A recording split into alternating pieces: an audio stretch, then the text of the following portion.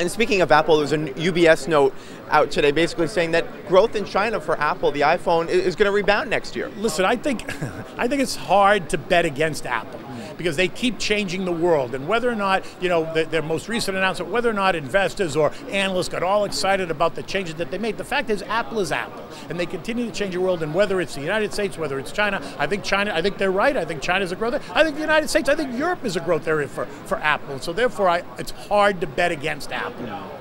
And speaking of Apple, uh, Thursday is the 10 year anniversary that the iPhone first went on sale. I mean, how do you quantify that as an investor? Uh, yeah, listen, go back and say, I'd have to go back. I wish you'd said that to me because we could have gone back and compared it. Um, Apple has had this amazing, amazing run in the last 10 years, ever since they started with the iPhone. And now the, only, the, iPhone only continues to get better, it gets more exciting, it does more things, and so therefore I think the world is its oyster, right? I mean, I, I, it's hard to quantify it. It's a, it's a tremendous company, it's a tremendous stock, uh, and so people, the Apple's the kind of name you buy and you just hold it. Mm. You know, unless you're a day trader in and out, if you're a long-term investor, you buy it and you just hold it, you put it away and you forget about it.